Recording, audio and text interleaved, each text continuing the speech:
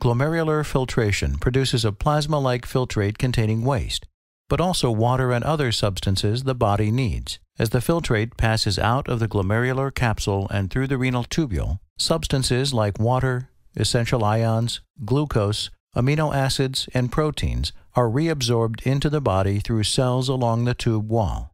At the same time, additional waste ions and hydrogen ions still in the blood pass from capillaries into the renal tubule. This process is called secretion. This process of reabsorbing water and nutrients and secreting additional waste creates urine.